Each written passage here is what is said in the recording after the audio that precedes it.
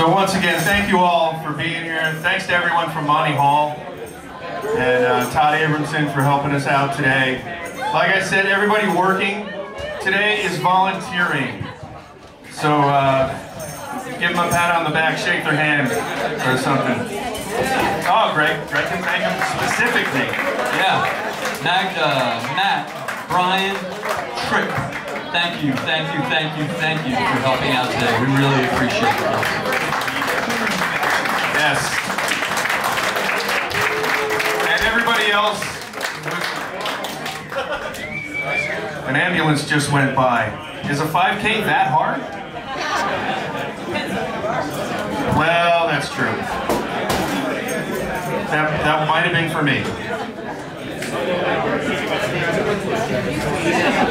Um, once again, thanks to Kirk for coming in and doing sound. He could have been home in Colorado, but instead he came here and uh, agreed to do sound for, I don't even know how many bands we have playing today, 10 or 11.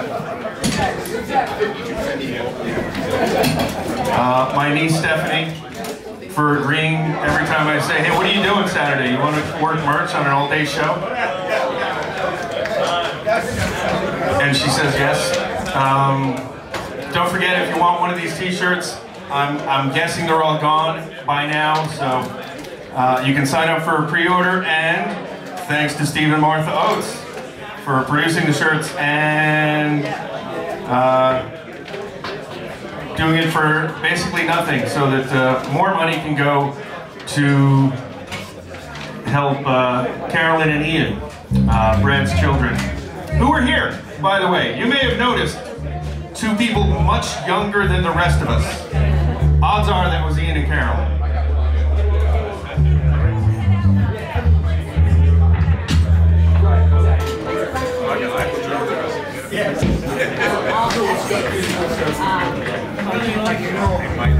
Do